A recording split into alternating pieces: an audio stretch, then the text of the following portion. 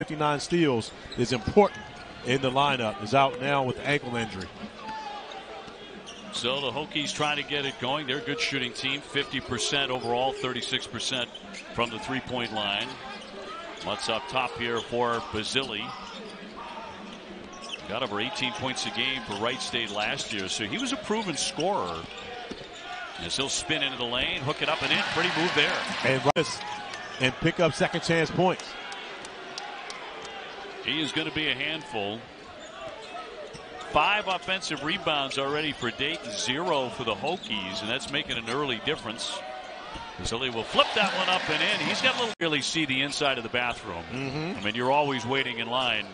You you develop a toughness about you. Absolutely, but my question is, well, as Basile knocks down the three, he's into the paint, sidestepping, laying that one off the window, will not go.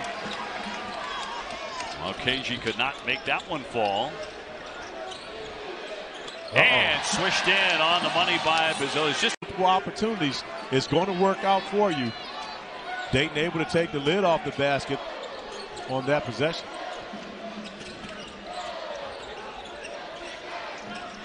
Basile. Oh. Yes, boy, is he feeling it.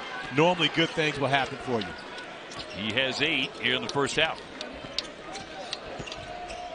Basile. Well, they can't stop him right now. Every time.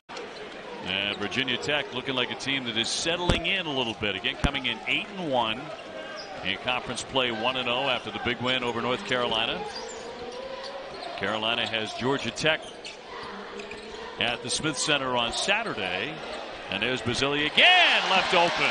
Brendan in Brooklyn last spring, way downtown by Amsil. And from three point land, it is a cold night for the Flyers, at least so far. They are 0 for 7. In the lane, guess who? Basile with two more. Anthony Grant trying to find anything he can. Pedulla with a miss. One rebound there for Basile to start second half. They'll lay that one in.